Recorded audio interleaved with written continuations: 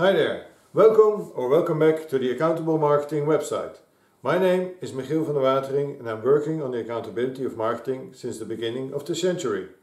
In this short video I would like to introduce to you the four main reasons why the accountability of marketing has become so important. If you leave your name and email address down below, I'll be happy to send you the e-paper with all the information. Let's start with the first reason. We have learned a lot from direct marketing and internet marketing. For instance, if you're using coupons in a direct marketing activity and you measure all the coupons that return, you're able to calculate the redemption rate. So you know more about the results uh, and the success of your direct mailing. If you look at the internet, you know that all the clicks that people make on your website are shown in the Google statistics or the Google Analytics that you're using to see what the web traffic on your website is doing. And if you have a radio commercial or television commercial, it's easy to put your uh, broadcast schedule next to your web uh, statistics. And if you see that the web statistics show more visitors during those, uh, uh those broadcasts, you know that the broadcasts have made people uh, decide to go to your website. Quite easy to understand. Second reason why accountability of marketing became so important is that we marketeers would like to be in charge or get back in charge of our marketing budget. In other words, we want to be seen in the boardroom again. Maybe you have it in your own company as well. By the end of the year, people make their new marketing plans. And somehow there is not a very clear connection between the business goals and the marketing plan.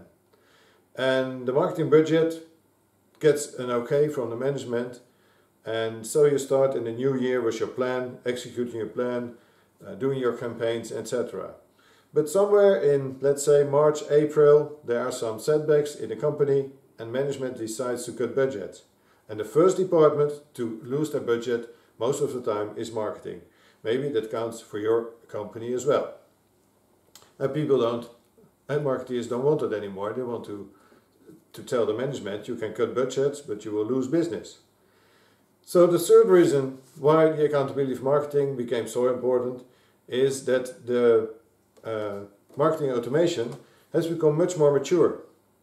This helps marketeers to plan their campaigns, to calculate the return on investment of their campaigns, and they don't have to bother about all these systems, and the systems have become much better for marketeers than they were uh, in the beginning.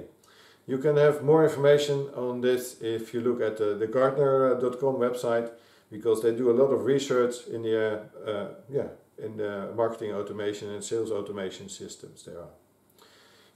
Maybe in your company as well, marketing and ICT don't get along uh, very well a lot, a lot and it most of the time gives a headache to the senior management. Like ICT does some projects which takes too long and marketers always want to have something today which they are thinking about tomorrow. So there sometimes there's a bit of a fight between ICT and marketing department. But nowadays we see a lot of programs either built in-house or software as a service on the internet or maybe a web-based program which enables marketeers to become much more accountable. Even for the smaller companies those systems are available. And the fourth reason why accountability of marketing became so important might be the crisis. Or maybe we shouldn't call it a crisis anymore, but more a new way of working or a new way of living. And the crisis helped us to understand that even marketing has to show what the return on their investment is.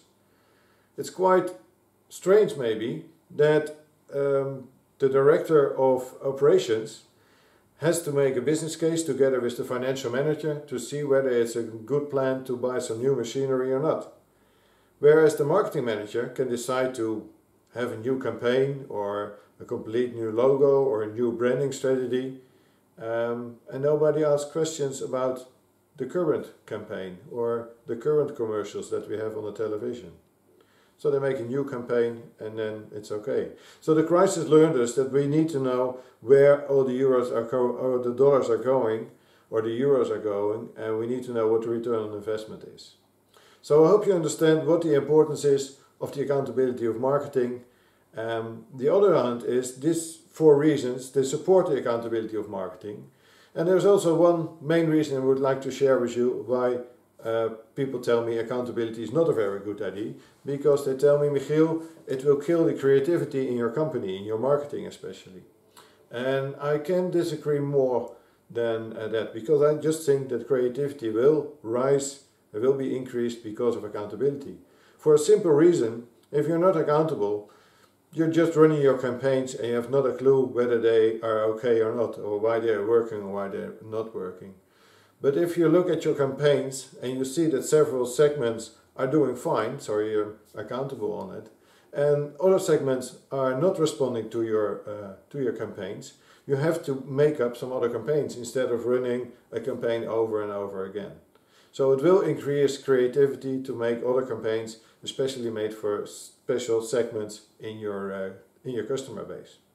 For now, I would like to thank you very much for watching this video. Please remind to leave your name and uh, email address down below and I will send you the e-paper with all the information. And hope to see you again at the accountable marketing.expert and help to help you to get accountable too.